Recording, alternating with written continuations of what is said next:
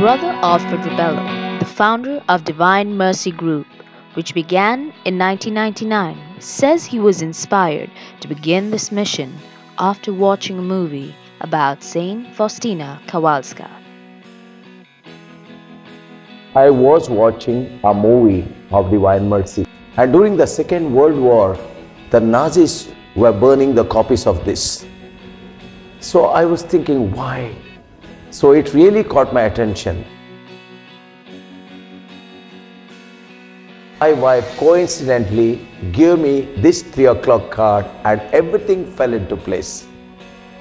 Soon after he began the Divine Mercy Prayer Group, he became a preacher proclaiming the Word of God. It's been 19 years, and Brother Alfred still upholds his promise to spread the Divine Mercy. Divine Mercy mission began in a small way by me distributing only seven chaplets of Divine Mercy. And now we have spread it all over the world.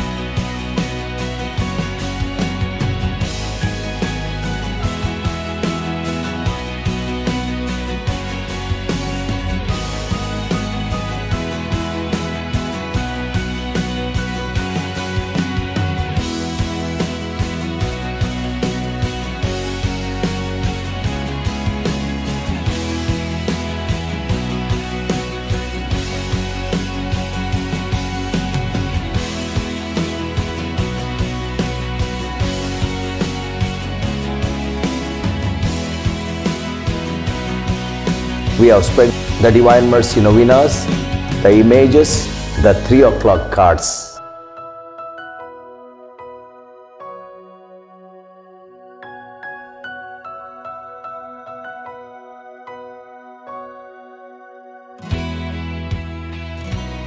This Divine Mercy mission is very important to me because this is Jesus' mission to save the souls. And there are some promises attached with this. The first promise is the souls that will say this chaplet will be embraced by my mercy during the lifetime, especially at the hour of their death. This second point here, Jesus gave this promise to Saint Faustina. The prayer most pleasing to me is prayer for the conversion of sinners. My daughter, know that it is always heard and answered. Third point is a beautiful point when they say this chaplet in the presence of the dying. I will stand between my father and the dying person, not as a just judge, but as a merciful savior. The fourth point here, the chaplet's power, the souls who spread the honor of my mercy at the hour of death I will not be a judge for them, but I will be a merciful Savior for them. The Divine Mercy Prayer Group in Sharjah has been growing over the years.